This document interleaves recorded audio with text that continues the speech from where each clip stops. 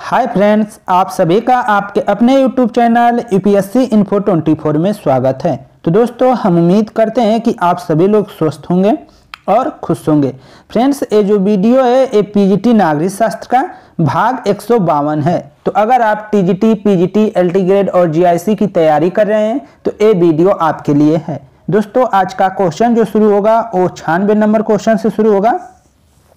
Question है, friends हमारी राजनीतिक प्रणाली में मंत्री जो एक उच्च राजनीतिक पद का अध्यक्ष होता है, केवल काठ की गुड़िया के समान है।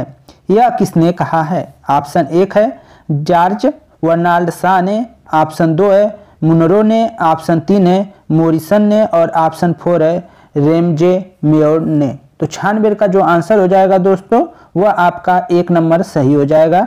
जॉर्ज वर्नाल्ड शाह ने। ये कथन किसका है?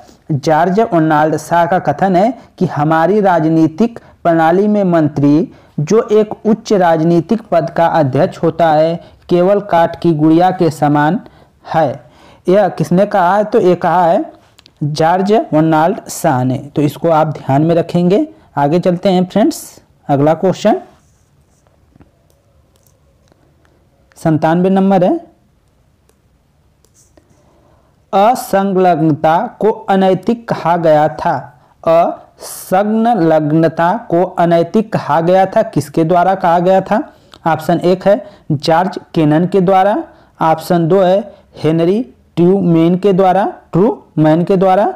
ऑप्शन तीन है जॉर्ज फास्टर डलेस के द्वारा। ऑप्शन फोर है उपयुक्त किसी के भी द्वारा नहीं। तो आंसर क्या हो जाएगा? संतान बेर का। तो संतान बेर का आंसर दोस्तों तीन सही हो जाएगा। जॉर्ज फा, फास्टर डलेस के द्वारा। असंलग्नता को अनैतिक कहा गया था। तो किसके द्वारा कहा गया था? तो जॉर्ज फास्टर डलेस के द्वारा। असंलग्नता क्या है? तो किसी भी गुट में हम पार्टिसिपेट नहीं करेंगे। किसी में संलग्न नहीं होंगे उसके साथ नहीं रहेंगे किसी भी दल के साथ। हम अलग से रहेंगे जैसे कि असंलग्नता गुट निरपेक्ष आंदोलन का एक उस तरह से देख सकते हैं। असंलग्न हुए। दो जैसे मित्र राष्ट्र और ध्रुवी राष्ट्र दो देश मतलब देश पूरे दो राष्ट्रों में बट गए थे। लेकिन कुछ देशों ने क्या किया कि असंलग्न रहने का निर्णय लिया कि हम किसी में संलग्न नहीं होंगे, पार्टिसिपेट नहीं करेंगे, हम अलग से रहेंगे। तो उसी को कहा जाता है असंग लग्नता को अनैतिक कहा गया। तो इसी के द्वारा कहा गया है तो ये किसके द्वारा कहा गया है? तो जान फास्टर डलेस के द्वारा कहा गया है। हम उम्मीद करते हैं कि अब ये बात संबंध में आ गई होगी। आगे चलते हैं, अंठानवे नंबर क्वेश्चन है फ्रेंड्स। क्वेश्चन है, सूची एक को सूची टू से सुमिलित कीजिए तथा नीचे दिए गए कूट का सही प्रयोग करते हुए सही उत्तर का चयन करना है। एक तरफ़ दिया गया है दृष्टिकोण और दूसरी तरफ़ दिए गए हैं, उसके जो विचारक हैं, वह दिए गए हैं। तो आप देखेंगे कि जो शास्त्रीय उपागम होते हैं शास्त्रीय उपागम को किसने दिया था? तो शास्त्रीय उपागम का कहीं ना कहीं संबंध आप देखेंगे तो हेनरी फ्योल से है। शास्त्रीय उपागम का संबंध हेनरी फ्योल से है और वैज्ञानिक प्रबंधन उपागम का संबंध आपका जो है फेडरिक टेलर से है। फेडरिक टेलर से है तो इसको आप याद रखेंगे। ठीक है? फेडरिक टेलर और बचे आपके मानवीय संबंध उपागम। तो मानवीय जो संबंध उपागम है, वो एल्टन मेयो का है तो इनका इससे संबंध है। और अंत में व्यवहारवादी उपागम तो हर्बर्ट साइमन का है। तो इसको आप याद में रखेंगे और इस तरह आपका ऑप्शन जो हो जाएगा, फोर सही हो जाएगा। तो फोर आप सही कर लेंगे। आगे चलते हैं। निन्यानवे नंबर क्वेश्चन। द्वितत्वीय सिद्धांत का प्रतिपादन किया गया था। द्यू तत्वीय सिद्धांत का प्रतिपादन किया गया था। ऑप्शन एक है मिस्लो द्वारा, ऑप्शन दो है मैक ग्रेगर द्वारा, ऑप्शन तीन है आर लिक्टन द्वारा, ऑप्शन फोर है हर्ज वर्ग द्वारा। तो आर किलकर्ट द्वारा या किसके द्वारा किया गया था? तो निन्यानवे का आंसर जो जाएगा वो आपका फोर के साथ जाएगा। हर्ज वर्ग ने किया था। तो दी तत्वी सिद्धांत का प्रतिपादन किया गया था किसके द्वारा? तो हर्ज वर्ग के द्वारा ऑप्शन फोर सही है। आगे चलते हैं, सौ नंबर क्वेश्चन देखते हैं। अमेरिका की प्रतिनिधि सभा के सदस्यों की कुल संख्या है। अमेरिका की प्रतिनिधि सभा के सदस्यों की कुल संख्या कितनी है? ऑप्शन एक है 535 ऑप्शन दो है 538 ऑप्शन तीन है 435 ऑप्शन फोर है 400 अरे 335 तो आंसर हो जाएगा 100 का, तीन सही है 435 ठीक है, अमेरिका की प्रतिनिधि सभा के सदस्यों की कुल संख्या कितनी है? 435 है तो आपका आंसर तीन सही हो जाएगा। आगे देखते हैं। दोस्तों, यहाँ पे थोड़ा कुछ गलत हो गया है। आना चाहिए 101 तो यहाँ पे आगे पीछे कुछ हो गया है। ठीक है नंबरिंग हमको लग रहा है गलत हो गया है। हम देख लेते हैं इसको। तो नंबरिंग गलत हो गया था फ्रेंड्स तो यहाँ पे हम नंबरिंग को ठीक कर लिए नंबर को ठीक कर लिए हैं। तो क्वेश्चन है, तृतीय विश्व पदावली का सर्वप्रथम प्रयोग किया गया था। तृतीय विश्व पदावली का सर्वप्रथम प्रयोग किया गया था, किसके द्वारा किया गया था? ऑप्शन एक है अल्फ्रेड सावी के द्वारा। ऑप्शन दो है फ्रेंच फेनान के द्वारा। ऑप्शन थ्री है वर्नाल्ड बारूच के द्वारा। ऑप्शन फोर है विली ब्रांट के द्वारा। तो आंसर क्या हो जाएगा दोस्तों? 101 का। 101 का आंसर जो हो जाएगा, एक सही हो जाएगा, अल्फ्रेड सावी के द्वारा। तृतीय विश्व पदावली का सर्वप्रथम प्रयोग किया गया था तो आंसर हो जाएगा अल्फ्रेड सावी के द्वारा। आंसर आपका पहला सही है। आगे देखते हैं 102 नंबर क्वेश्चन है। अंतर्राष्ट्रीय न्यायालय में गढ़पूर्ति के लिए न्यायाधीशों की कुल संख्या है। अंतर्राष्ट्रीय न्यायालय में गढ़पूर्ति के लिए न्यायाधीशों की कुल संख्या कितनी है? ऑप्शन एक है पंद्रह, ऑप्शन दो है सात, ऑप्शन तीन है ग्यारह, ऑप्शन चार है नौ।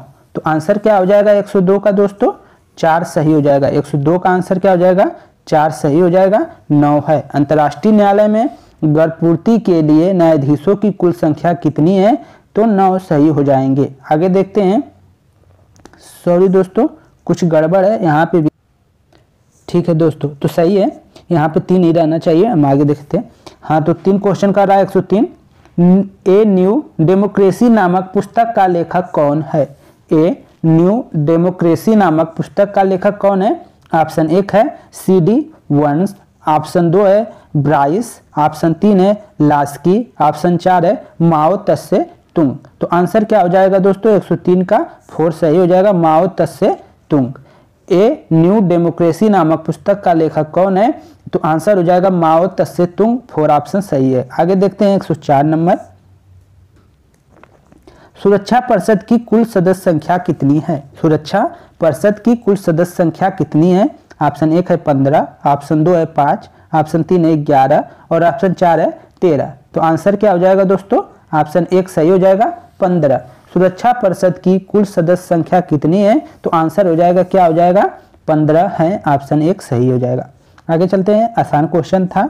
अगला क्वेश्चन है, व्यवहारवाद सीख लेता है। व्यवहारवाद सीख लेता है, प्रेरणा लेता है, किससे लेता है? ये बताना है, फांसीवाद से, प्रत्यक्षवाद से, उपयोगितावाद से, आदर्शवाद से। तो व्यवहारवाद सीख लेता है, किससे लेता है दोस्तों? तो आंसर हो जाएगा 105 का, दो सही हो जाएगा प्रत्यक्षवाद से। ठीक है? व्यवहारवाद सीख लेता है किससे? तो प्रत्यक्षवाद से आपका आंसर ठीक हो जाएगा। आगे चलते हैं। 106 नंबर क्वेश्चन है।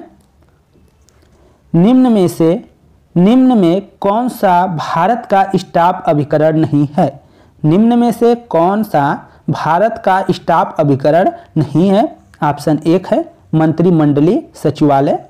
ऑप्शन दो है प्रधानमंत्री कार्यालय।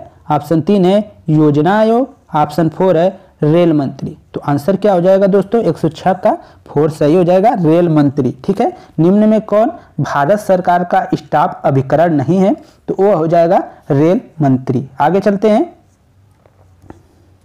107 नंबर क्वेश्चन है। कौन सी विचारधारा समर्थन करती है कि तथ्य अनिवार्यता तकनीकी से पूर्व है? कौन सी विचारधारा समर्थन करती है कि जो तथ्य हैं अनिवार्यतः तकनीक से पूर्व है, पहले हैं? ऑप्शन एक है व्यवहारवाद, ऑप्शन दो है अस्तित्ववाद, ऑप्शन तीन है उत्तर व्यवहारवाद और ऑप्शन फोर है प्रत्यक्षवाद। तो 107 का जो आंसर हो जाएगा दोस्तों, एक सही हो जाएगा व्यवहारवाद। ठीक है? व्यवहारवाद कहता है, समर्थन करता है कि जो तथ्य है, वह अनिवार्यता तकनीकी से क्या है? पूर्व है ये आंसर एक हो जाएगा 107 का एक आंसर। आगे देखते हैं।